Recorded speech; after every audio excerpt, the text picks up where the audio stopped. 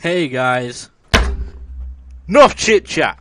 We've got a job to do. Now, thank you to NT Watcher because he is single handedly carrying this series. Also, I did this. I might have committed mass genocide. Um.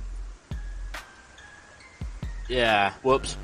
But anyway, time to explore. Oh, baby! Now, if you're allergic to wood, I'd encourage that you don't watch this. But I'm hard as a rock right now. Okay. There are approximately 49 million boxes in this room. And I have ended up with that. Just that. I should have killed myself when I had the chance. Now, the main objective for today is to get a car, as well as survive. Now, if you don't know what a car looks like, that's a car right there.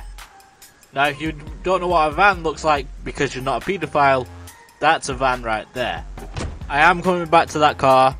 There's just something I there's just some things I want to kill before then. You're barely wearing any clothes, miss. Are you by chance a stripper?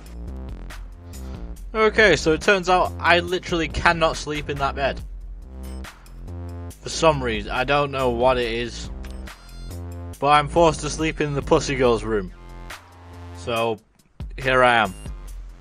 Oh crap, there's a lot more there than I thought. Okay. Hey mate. You look interested in a piece of wood. Why don't you meet my baseball bat? That was... You fucking ruined it, man. Hope you're happy with yourself. Okay, this is going to be slightly difficult. It's going to be very difficult. Never mind, they're all... Oh, fuck.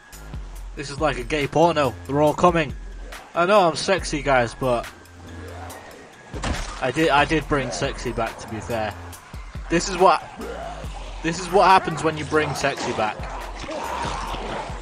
I'm dead. I, I, I am dead. Well, guys, I'm to leave this episode there before I prove you all right. So, I shall see you guys in a bit. Take care, and peace.